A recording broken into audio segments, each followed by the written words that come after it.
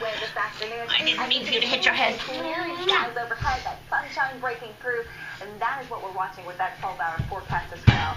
Highs topping out in the mid to upper 40s today, but tomorrow's getting even warmer. And look at that coming up, Dr. Oh, you love that, don't Things you? are breaking right now. It's a rail train at the Tennessee station. This happened at around 7 o'clock this morning. The condition of the victim unclear right now. The circumstances surrounding the crash are still under investigation. The train is still stuck there on the tracks at this moment. Right now, investigators are working to determine what caused this devastating fire in Lowell. They claim the life of this three-year-old boy.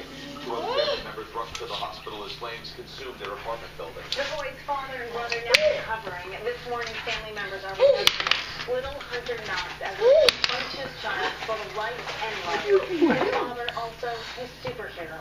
Family friends telling me Hunter and his dad were inseparable.